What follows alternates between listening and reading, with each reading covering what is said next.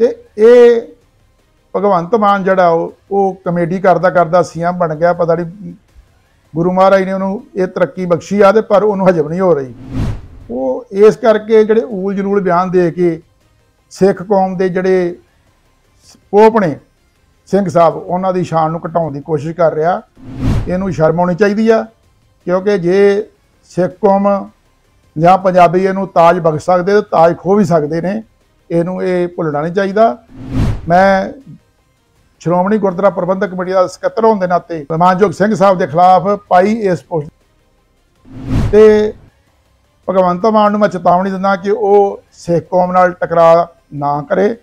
ਜੇ ਸਿੱਖ ਕੌਮ ਨੇ ਟਕਰਾਅ ਕੀਤਾ ਤਾਂ ਫਿਰ ਕੱਲ ਦਾਰ ਭਗਵੰਤ ਸਿੰਘ ਜੀ ਮਾਨ, ਜਿਹੜੇ ਸੀਐਮ ਪੰਜਾਬ ਦੇ ਨੇ, ਉਹਨਾਂ ਵੱਲੋਂ ਮਾਨਯੋਗ ਸਿੰਘ ਸਾਹਿਬ ਦੇ ਜਿਹੜਾ ਖਿਲਾਫ ਪੋਸਟ ਪਾਈ ਆ, ਬਹੁਤ ਨਿੰਦਣਯੋਗ ਆ।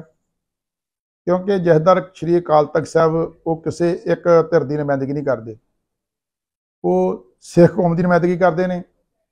ਸਿੱਖ ਕੌਮ ਦੇ ਜਿੰਨੇ ਵੀ ਚਾਹੇ ਜਥੇਬੰਦੀਆਂ ਨੇ ਤੇ ਚਾਹੇ ਉਹ ਸਿਆਸੀ ਪਾਰਟੀਆਂ ਨੇ, ਚਾਹੇ ਉਹ ਸਭ ਪਰਦਾਵਾਂ ਨੇ, ਸਾਰਿਆਂ ਦੀ ਨੁਮਾਇੰਦਗੀ ਜਹਦਰ ਸ਼੍ਰੀ ਅਕਾਲ ਤਖਤ ਸਾਹਿਬ ਕਰਦੇ ਨੇ। ਕਿ ਜਿਹੜਾ ਉਹ ਸਰਦਾਰ ਸਿੰਘ ਸਾਹਿਬ ਨੂੰ ਇੱਕ ਪਾਰਟੀਆਂ ਜੋੜ ਰਹੇ ਆ। ਕਿਉਂਕਿ ਜਦੋਂ ਦੇ ਵੀ ਇਹ ਸਿੰਘ ਸਾਹਿਬ, ਯਾਨੀ ਹਰਪ੍ਰੀਤ ਸਿੰਘ ਜੀ ਨੇ ਕੌਮ ਦੀ ਜਹਦਰੀ ਸੰਭਾਲੀ ਆ ਜਹਦਰ ਕਾਲ ਤੱਕ ਸਾਹਿਬ ਬਣੇ ਨੇ, ਉਦੋਂ ਦੇ ਇਹ ਧੜਕ ਫੈਸਲੇ ਲੈ ਰਹੇ ਨੇ। ਤੇ ਇਹ ਭਗਵੰਤ ਮਾਨ ਜਿਹੜਾ ਉਹ ਕਮੇਡੀ ਕਰਦਾ ਕਰਦਾ ਸੀਐਮ ਬਣ ਗਿਆ, ਪਤਾ ਨਹੀਂ ਗੁਰੂ ਮਹਾਰਾਜ ਨੇ ਉਹਨੂੰ ਇਹ ਤਰੱਕੀ ਬਖਸ਼ੀ ਆ ਤੇ ਪਰ ਉਹਨੂੰ ਹਜਮ ਨਹੀਂ ਹੋ ਰਹੀ।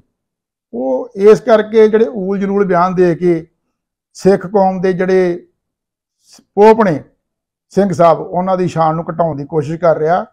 ਇਹਨੂੰ ਸ਼ਰਮ ਆਉਣੀ ਚਾਹੀਦੀ ਆ, ਕਿਉਂਕਿ ਜੇ ਸਿੱਖ ਕੌਮ ਜਾਂ ਪੰਜਾਬੀ ਇਹਨੂੰ ਤਾਜ ਬਖਸ਼ ਸਕਦੇ ਤੇ ਤਾਜ ਖੋ ਵੀ ਸਕਦੇ ਨੇ, ਇਹਨੂੰ ਇਹ ਭੁੱਲਣਾ ਨਹੀਂ ਚਾਹੀਦਾ।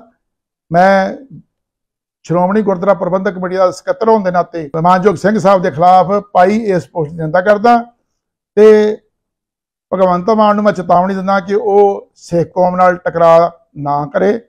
ਜੇ ਸਿੱਖ ਕੌਮ ਨੇ ਟਕਰਾਅ ਕੀਤਾ ਤਾਂ ਫਿਰ ਇਹਨੂੰ ਗੱਦੀ ਸੰਭਾਲਣੀ ਔਖੀ ਹੋਊਗੀ। ਤੇ ਇਹ ਭਗਵੰਤ ਮਾਨ ਜਿਹੜਾ ਉਹ ਉਹ ਕਮੇਡੀ ਕਰਦਾ ਕਰਦਾ ਸੀਐਮ ਬਣ ਗਿਆ। ਪਤਾ ਨਹੀਂ ਗੁਰੂ ਮਹਾਰਾਜ ਨੇ ਉਹਨੂੰ ਇਹ ਤਰੱਕੀ ਬਖਸ਼ੀ ਆ ਤੇ ਪਰ ਉਹਨੂੰ ਹਜਮ ਨਹੀਂ ਹੋ ਰਹੀ।